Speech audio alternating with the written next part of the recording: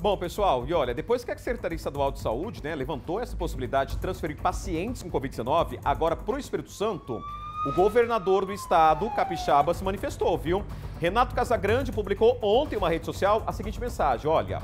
É necessário esclarecer que o Espírito Santo não vai receber neste momento nenhum paciente de Covid de outro estado, como foi noticiado. A gente segue trabalhando e garantindo que todo capixaba tenha o atendimento necessário, né? É o posicionamento do governador lá do Espírito Santo, então, né, a possibilidade de transferir, né, pessoas do Mato Grosso do Sul lá para o estado capixaba não é mais possível. A nossa produção tentou entrar em contato com a assessoria de imprensa do governo do estado do Espírito Santo, né, questionando se de fato houve essa conversa com o governo de Mato Grosso do Sul. Até o momento não tivemos respostas.